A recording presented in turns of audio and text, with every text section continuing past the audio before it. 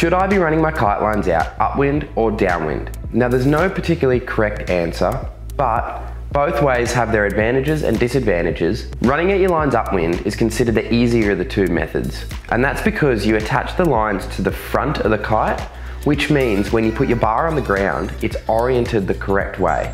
Because as you look at the kite, the left-hand side's on your left and the right-hand side's on the right.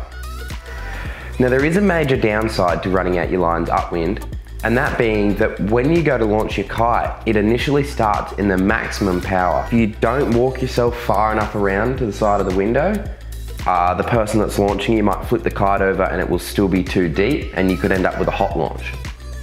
Running your lines out downwind does avoid this potential risk. However, as you're connecting your lines to the back of the kite, the bar must initially be placed on the ground upside down. When you're standing downwind looking back at your kite, the right hand side of the kite's on your left and the left hand side's on your right. So by flipping the bar over, you can easily run your lines out and connect them one side to the other.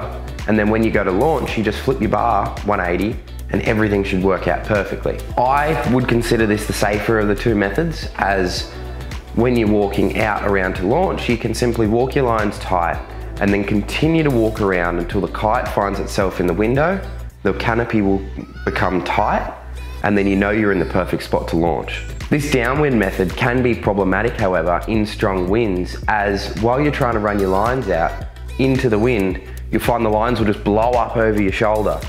Um, it's kind of a bit like trying to push a rope. Your lines can actually also be run across the wind or any angle uh, if there isn't enough space on the beach or wherever you're launching to run them up or downwind. And the way that I would do that is I'd run my lines across the wind and then you just need to decide whether you're going to attach to the front of the kite or attach around to the back of the kite. Um, one last tip, if you're on a big open beach and there's lots of kiters around, normally you'll find that everyone runs their lines out either upwind or downwind. If you're the guy who goes across the wind, you'll be the guy who ends up running over people's lines and in the way when people are launching. So I like to follow the trend at whatever beach I'm at. And also, if you are at a packed beach and there's three other dudes who have all run their lines out upwind, um, I like to put my kite in the same spot, but I'll run out downwind. So that way, if I go to launch at the same time as one of these guys, we naturally end up two kite lines apart because we've ran our lines out opposite directions, even though our kites are in a similar spot.